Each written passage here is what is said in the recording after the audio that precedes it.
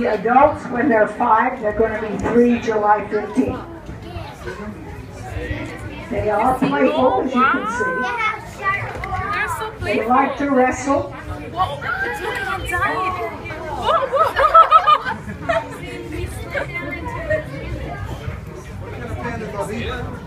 Pare.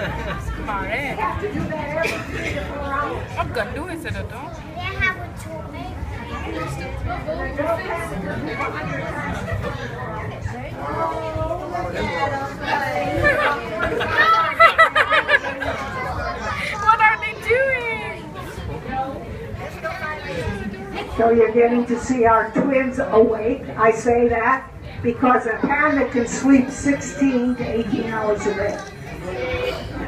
Their name in Latin means they're a cat. And if you have a cat, you know they have bursts of energy and then they sleep for hours. Same thing with uh,